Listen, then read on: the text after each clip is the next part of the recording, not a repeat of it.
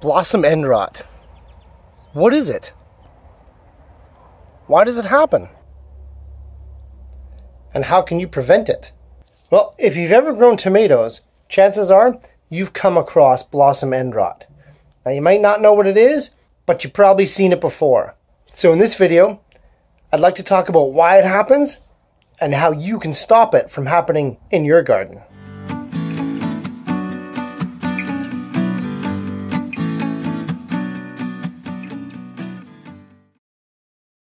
Now, before we get into the specifics, let's talk about the plants that are most affected by blossom end rot. By now, it's obvious most members of the nightshade family are totally affected by blossom end rot. So you got your tomatoes, your peppers, and your eggplants. Now, these are the ones where gardeners have the most issues surrounding blossom end rot. Now, another family of vegetables that's highly susceptible would be the squashes. So you got your zucchinis, your pumpkins, you know, your butternut squash, your spaghetti squash, although I've never seen it in spaghetti squash. But yeah, squashes, they can definitely get blossom end rot. So what is blossom end rot? Well, let's first talk about what it isn't. A blossom end rot is not a disease and it's not contagious. You know, I've known many a gardener to walk by their tomato plant, you know, and see a fruit with blossom end rot on it and think, oh no, I've got to get rid of that it's going to contaminate the rest of my plants. Well, I'll tell you right now, the blossom end rot, it is not happening because of a fungus or bacteria or disease at all. So blossom end rot, it is a plant's reaction to a deficiency, specifically a deficiency in calcium. Now, calcium in plants is used to build the cell walls. And so if the plant can't transport enough calcium to the cell walls of the fruit, you end up with weak deformed, miscolored cell walls. So, blossom end rot, it's not a disease, it is a reaction by the plant to the deficiency of calcium. So, why do plants have this deficiency in calcium? And there's many different reasons for that. It might not just be that the soil that they're growing in is low in calcium. You know, you can have plants with blossom end rot where the soil is absolutely full of calcium. Now, this deficiency of calcium can happen for a number of reasons, but there's usually three main causes for it. And I'll go through them now. Now, the first cause, and this is the most common, and it's really the most applicable at this time of year, and that's intermittent drought. Now, when you're fruiting plants, periodically dry out, get wet, dry out, get wet, dry out, that is a surefire recipe for them to get blossom end rot.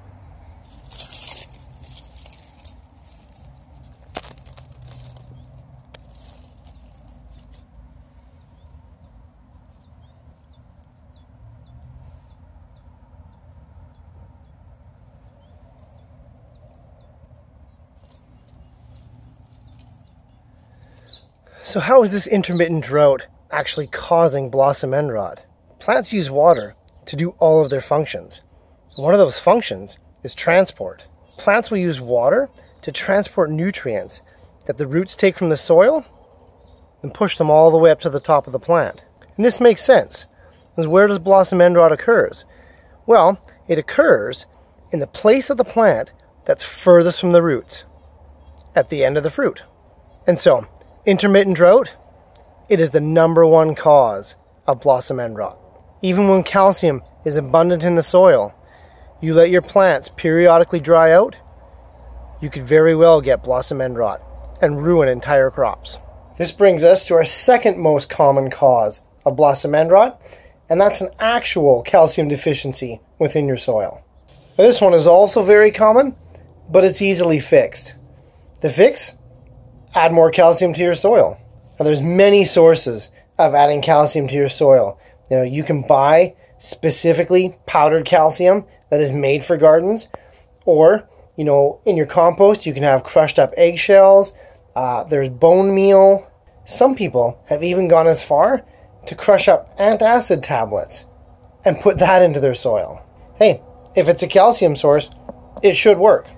This is a perfect time to mention a previous point that I made in a video about a month ago when I was talking about foliar feeding.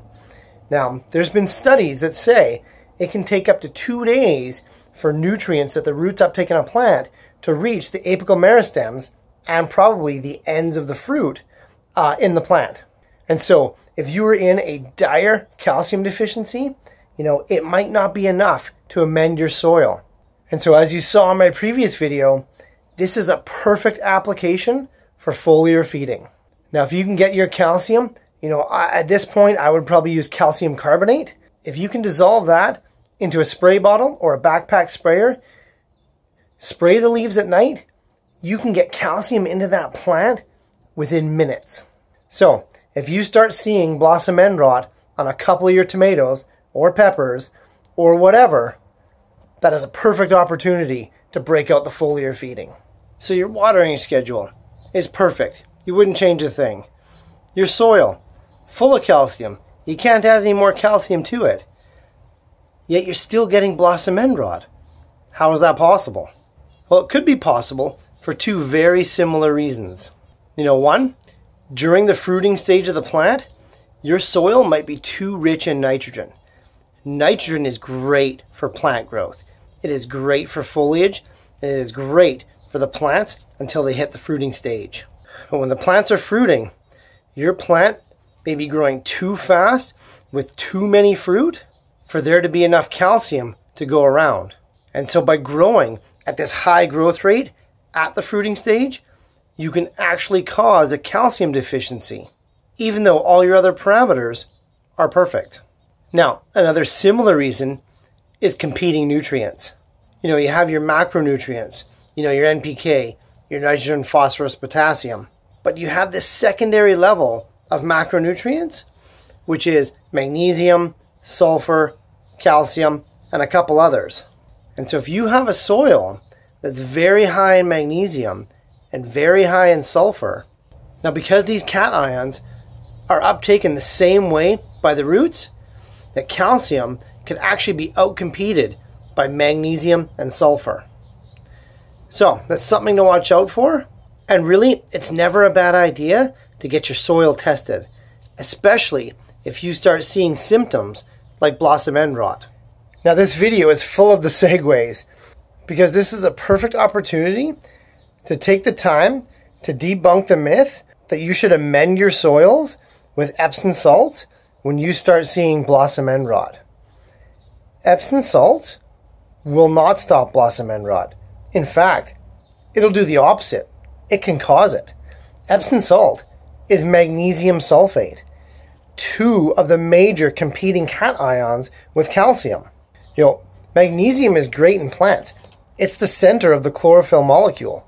Of course, it needs magnesium, but too much of it, and you could actually be causing blossom end rot in soils that normally wouldn't have it. So, just something to watch out for when you're trying to amend your soils with certain things during the year. And I amend my soils all the time with magnesium sulfate, but I always try to make sure that my soils are high in calcium and that I don't have periodic drought. So earlier, we had a look at a Roma plant that had blossom end rot. Now that plant was in an eight foot raised bed with an open bottom that was 16 inches deep. Yet it still had blossom end rot. Look at these guys. these guys have dried out so many times. They're in tiny little four inch pots, yet zero blossom end rot. You know, look at the size of those romas. So, how does that happen? Obviously, they've been going through periodic drought. And most likely, there isn't a lot of calcium inside that little bit of soil. So how are these guys able to avoid blossom end rot? Well, it's simple. It's like we've been talking about. These particular plants haven't outgrown their ability to produce fruit. See, it's not about just having enough calcium in the soil. It's about a balance. You know, that plant out there, I bet you there's tons of calcium in that bed. But in that particular pocket, and it's only that plant that has the blossom end rot, I bet you in that particular pocket, there's so much nitrogen, there's so much magnesium, and there's so much sulfur that I bet you that plant can't get enough calcium through its roots up the xylem to the upper portions of the plant and obviously to the fruit. And so it's not just about having enough calcium, it's about making sure that your soil and your water and all the other variables that go into growing plants are in perfect balance. You know, when you think about it, you know, these tiny little seeds that sprout into these tiny little seedlings, you know, that eventually grow into these massive six foot plants that have all these fruit on it. It's a miracle that that happens. But it does. And these plants are designed to make that happen. But they need the right conditions. And so the next time you see blossom end rot, you know, don't think it's a disease and you got to take that plant out. I treat blossom end rot like I see a wilting leaf. It is a symptom. It is a symptom that that plant isn't getting what it needs at that particular time of its life cycle. And so it's a good thing. You know, plants give us these indicators of how well they're doing or how well they're not doing. And us as gardeners can use these indicators to change the variables and how we grow them. All right, guys, thanks for watching. I hope you learned a little bit about blossom end rot, you know, why it happens and how you can prevent it. As always, leave some questions or comments down below. Have you experienced blossom end rot in your gardening career? If so, how did you deal with it? Did it come back? Do you have it all the time? Or are you one of the lucky few that's never seen it before? I'd love to hear about it. You know, click subscribe if you haven't already. For those of you that have, I really do appreciate the support. Thank you. And I'll see you guys next time. No blossom end rot on these guys. Oh, that's a beauty.